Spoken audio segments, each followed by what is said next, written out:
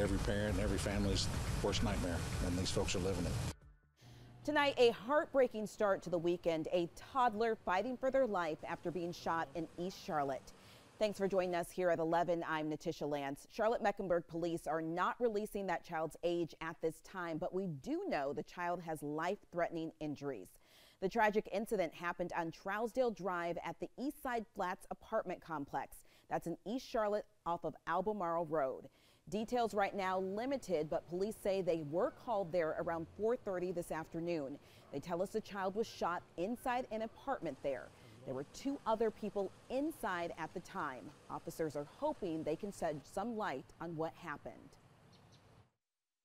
Very tragic situation. Homicide detectives were called.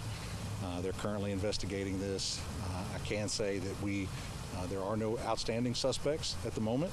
Uh, there's there's no danger to the public, uh, but we're working through the details of what happened uh, in this tragic incident today. And right now it's unclear how the child was shot, but Major Johnson says this should serve as a reminder to parents to make sure all firearms are secured. We're going to continue to follow the story and let you know when we have more details.